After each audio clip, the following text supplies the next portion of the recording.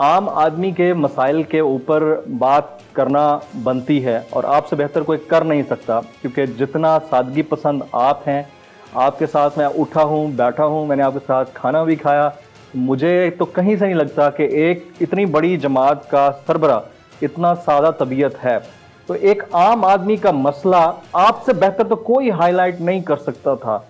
इतने अरसे से हम देख रहे हैं कि जमात इस्लामी उतनी प्रोएक्टिव नहीं रही जितनी होनी चाहिए थी। उसकी वजह क्या है? बसमीम बहुत शुक्रिया। आपने बहुत बुनियादी क्वेश्चन किया। अगर हम पाकिस्तान की सियासी तारीख का जायज़ा ले लें तो हर कौमी इशू पर और फ़र्द की इशू पर ख़ानदान की इशू पर जमात ही ने रिस्पांस किया है। अभी गुज्त दिनों जमात इस्लामी ने 40 दिन मुसलसल इसकाम ख़ानदान पर मुहिम चला है आपको पता नहीं चला होगा। नहीं मुझे पता है। ज़ाहिर है। मुझे पता लेकिन है। बड़े जलसे किए सेमिनार किए प्रेस कॉन्फ्रेंस की इसलिए कि हमारे मुल्क में ख़ानदान ही एक छतरी रह गई है। जिसके तले आकर इंसान को एक सुरूर और सुकून इतमान और अमन और खुशी मिलती है। अब हमारा दुश्मन चाहता है कि आखिरी छतरी छतरी भी ख़त्म हो। ख़ानदानी निज़ाम गैर मुस्तकम हो, फिर से बुताज हो जाए। अब आप देखे हैं हमारे कौमी इश्यूज़ में सबसे अहम इशू इस वक्त महँगाई है, बेरोज़गारी है। ज़ाहिर है एक वी आई पी या V I V V I P लोग इसको तो महसूस नहीं करते हैं शहजादे और शहजादियाँ लेकिन आम आदमी का आज के लम्हे में बहुत बड़ा मसला है हम्म। जमात इस्लामी गुज्त कई आशरों कई महीनों से इस पर एक मुहिम चला रही है हम्म। कल भी हम्म। हमारा बहुत बड़ा जलसा लियाकत बाग में हो रहा है कल भी हमारा एक बहुत आ, बड़ा जलसा कराची में हो रहा है एजेंडा क्या है उसके लिए। और इससे पहले एक हफ़्ता पहले हमने बहुत बड़ा जलसा किया मुल्तान में उससे बहुत बड़ा जलसा किया बाउलपुर में सरगोदा में गुजरावाला में स्वात में दीर में हमारे बाजोड़ में। आने वाले जलसों का एजेंडा क्या होगा? यानी हर शहर में हमने इसलिए कि आम आदमी का मसला वो सियासत से ज़्यादा ये महँगाई है। और इन जलसों का बुनियादी इशू यही है कि हम चाहते हैं कि मुल्क में महँगाई का ख़ात्मा हो बेरोज़गारी का ख़ात्मा हो हम्म। हम चाहते हैं अभी रमज़ान का महीना आ रहा है तो कम अज़ कम पचास फ़ीसद कीमतों में कमी की जाए हम्म। हम चाहते हैं कराची में हमारी मुहिम जारी है कि कराची लोगों को हकूक़ मिले उनके के इलेक्ट्रिक का मसला है जिससे वो बहुत तंग हैं उनके ट्रांसपोर्ट का मसला है जिससे वो बहुत तंग है, नौजवानों की बेरोज़गारी का मसला है हती के मरदमशुमारी का मसला है। तो इस तरह पूरा मुल्क इस वक्त मसाइल के एक दलदल में है। लेकिन इस दलदल में आम आदमी है वी आई पी या सियासी लीडर, बैरोक्रेट, बड़े जर्नेल, जजेस, इस चीज़ को फील नहीं कर रहे हैं। इसलिए कि इनको इतनी बड़ी तनख्वाहें मिलती हैं, मराहत मिलती है। वो कभी कभार आपसे सुनकर या किसी और से सुनकर उनको इतला तो ज़रूर मिल जाती है। हम्म। लेकिन इससे अंदाज़ा करें कि इस तबके को ये भी पता नहीं है कि टमाटर को गिना जाता है या तोला जाता है। अंडों को गिना जाता ये है भी पता नहीं है कि अंडों को तोला जाता है या गिना जाता है। हम्म। उसकी वजह यह है कि शहजादों और शहजादियों की सियासत है। इसलिए मैं उमूमी तौर पर इनकर साहिबान से कहता हूँ आपसे भी हम्म। कि इन शहजादों और शहजादियों को एक तरफ़ छोड़े। आप जब इनका तस्करा करते हैं उनकी तस्कीन उनको तो हो जाती है हम्म। लेकिन गरीब आदमी को क्या मिलता है हम्म। क्या आपकी सोच अब भी मुगलिया दौर की सोच है हम्म। जिसमें यही डिस्कशन होता था कि आज बादशाह का मूड बहुत अच्छा था आज मलका थोड़ी सी परेशान थी आज शहजादे ने घोड़ी सवारी सीखी है आज उसने यू कोट पहना है पहना है आज उसने यू पोस और वो महीने में या साल में एक बार गरीब आवाम को अपना चेहरा दिखाते थे और लोग उसका इंतज़ार, लेकिन अब तो 2021 है। क्या ये मुमकिन नहीं है हम 2021 में दाखिल हो? और इंसान ने चाँद पर कदम रखा, हम भी कुछ तरक्की की तरफ़ सफ़र शुरू करें। मैं साहब मुझे सवाल की ज़रूरत है। अब जब हम आपको उन्हीं शहजादे शहजादियों के बीच में खड़ा हुआ देखते हैं तो फिर हमें आपको भी दिखाना पड़ता है। ज़ाहिर है कि मीडिया है, उसमें तो दिखाना है। बट द थिंग इज़ के आप भी इसी सिस्टम का हिस्सा हैं। मतलब जिस महँगाई के खिलाफ आप आवाज़ उठा रहे हैं, उसी पीटीआई के साथ आप केपीके में एक अरसे तक इतिहाद में रहे। तो आप या तो फिर पीटीआई को इस सिस्टम से एक्सक्लूड कर दें या खुद इस सिस्टम से अलग हो जाएँ। नहीं, प्यारे भाई, देखिए, जमात इस्लामी तो आपको तो इलम होना चाहिए कि हम जिस इस्लामी निज़ाम के लिए जदोजहद करते हैं, उसके लिए हमने एक तरीक़ार पर इत्तेफाक किया है यकीन किया और वो है जमहूरी तरीक़ा हम्म। हम दावत और तबलीग का भी काम करते हैं हम मदारस भी चलाते हैं हम स्कूल्स और डिस्पेंसरियाँ भी कायम करते हैं हम मुस्लिम तो क्या गैर मुस्लिमों की खिदमत भी करते हैं लेकिन इसके साथ ही हम इलेक्शन में भी हिस्सा लेते हैं हम्म। इसलिए कि हमारा ये ख्याल है कि इकतदार में आए बगैर हम्म। हम इस मुल्क का निज़ाम तब्दील नहीं कर सकते।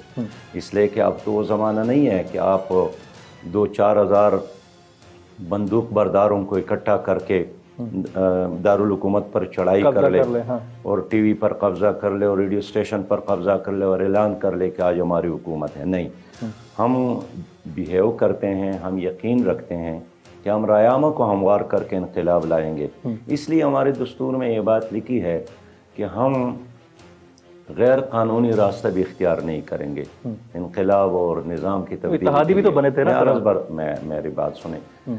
हमारा ये भी दस्तूर में है कि हम कोई अंडरग्राउंड सरगर्मी और साजिश भी नहीं करेंगे बिल्कुल आवाम की ताउन आवाम की राय आवाम के सपोर्ट और आवाम के वोट से आएँगे लिहाजा गुज्त इलेक्शन में हमें खैबर पख्तनख्वा के लोगों ने वोट दिया था हम्म।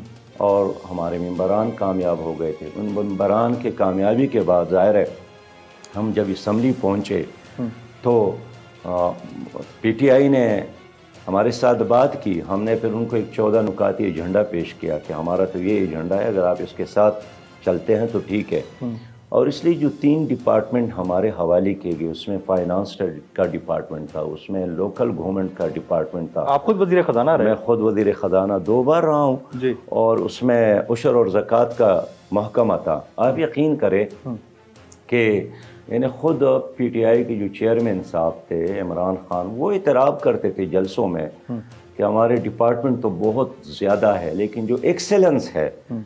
और जो कामयाबी के साथ चलने हैं चलते हैं जो डिपार्टमेंट वो वही है जो जमात इस्लामी के हाथ में वर्ल्ड हम्म। बैंक ने भी हमारे लोकल गवर्नमेंट की जो सिस्टम था जो तरीक़ार था उसकी तारीफ़ की हम्म। उससे पहले मैं एम एम ए की हुकूमत में भी फाइनेंस मिनिस्टर था हम्म। लेकिन अल्लाह के शुक्र के साथ कह सकता हूँ किसी फ़ख्र के साथ नहीं कि हमारे फाइनेंशियल मैनेजमेंट हमारे फ़ंड यूटिलाइजेशन हमारी बेहतरीन फैसलों के नतीजे लेकिन आप कोलेशन में तो थे मैं अर्ज़ करूँ हम हमने ज़रूर पीटीआई के साथ भी इतिहाद किया था खैबर पख्तनख्वा में हाँ। और एम एम ए का भी हम हिस्सा थे एम एम ए की हुकूमत में। हाँ। लेकिन हमने हर ज़िम्मेदारी को नभाई है हाँ।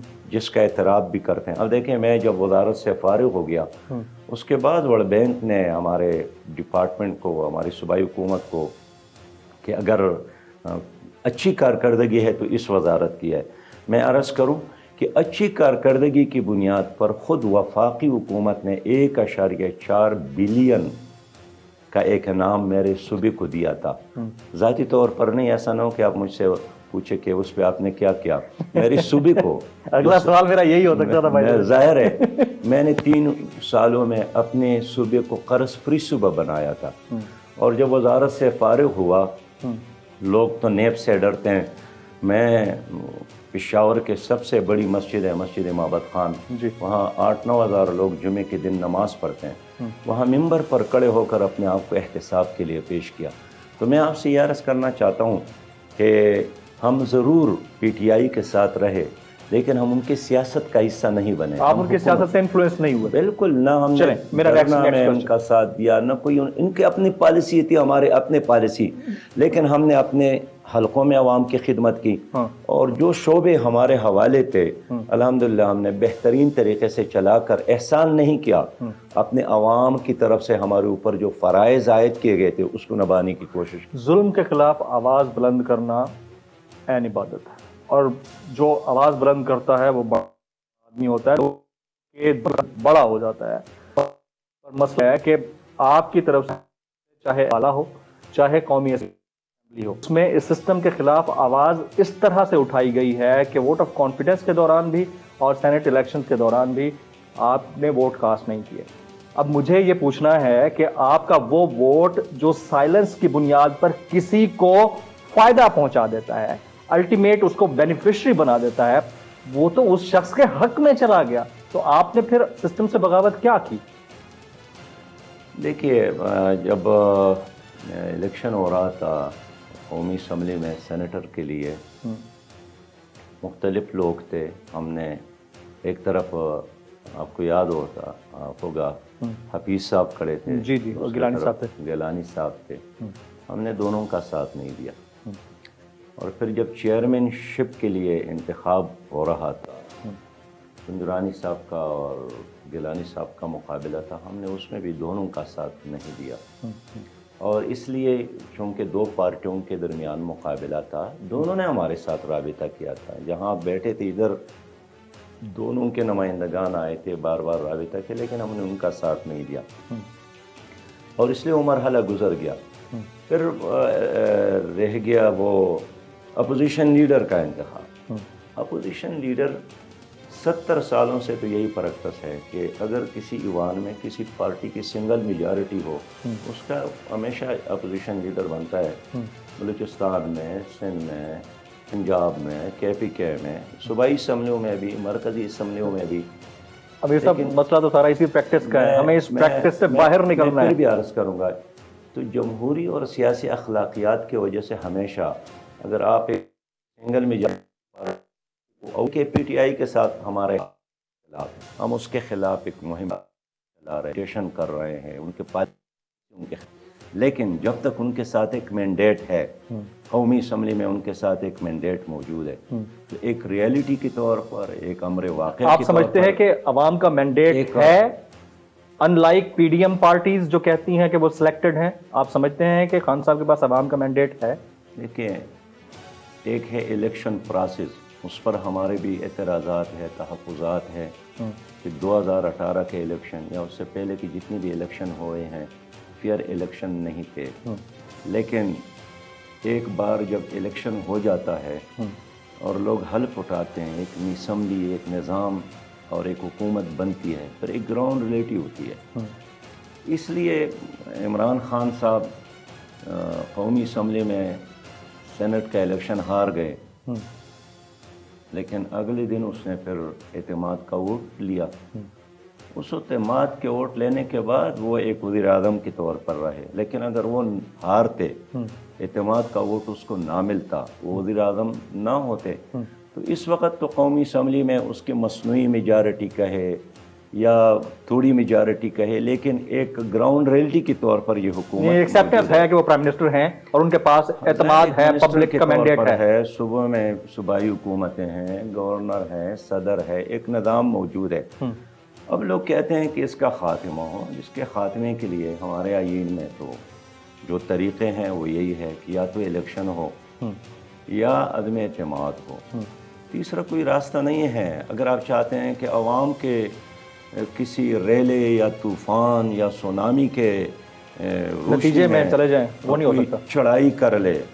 तो जिस तरह ईरान में आयतुल्ला खुमैनी आए थे और शाहपुर बख्तियार भाग गया था हम्म, हम्म। यहाँ चूँकि एक जमहूरी निज़ाम का एक प्रैक्टिस मौजूद है हम्म। और ज़ाहिर है अगर एक दरवाज़ा मौजूद है तो फिर विंडो पे चढ़कर उतरना ये मुमकिन भी नहीं है। इसलिए मैं समझता हूँ कि हमें अब तो हम चाहते हैं कि ये न, ये हुकूमत जो है ना जिस तरह चाहती है कि हमें कोई शहादत मिले। हम्म। मैं चाहता हूँ कि उसको कोई शहादत यानी पाँच साल मुकम्मल करने चाहिए। इनको कोई शहादत ना मिले। ये एक्सपोज हो रहा है। हर दिन इनके नाकामी के साथ तुलू हो रहा है। हम्म। वरना सियासी शहादत के नतीजे में ये फिर कहेंगे कि हम तो आसमान के तारे और ज़मीन से दूध के नहरे बहाने वाले थे। हम्म। किसी ने मौका नहीं दिया। हम्म। इसलिए बग़ैर तैयारी के हम्म। एक ऐसी टीम के साथ जिसका कोई तजर्बा नहीं था जिसका विजन नहीं था इस वक्त ये हुकूमत मौजूद है। लेकिन हमें बेदार रहना है। इसलिए कि हमारे चंद बहुत ज़्यादा स्ट्रेटिजिक इशू है। उनमें से एक इशू कश्मीर का है।